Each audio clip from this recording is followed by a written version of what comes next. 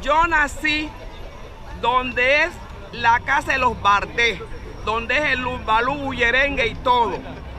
Mi casa así y el Lumbalú acá.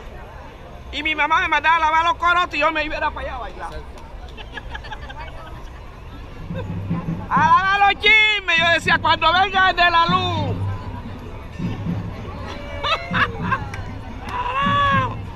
Eso nace, mijo. Eso nace la sangre palenquera. Tengo 70 años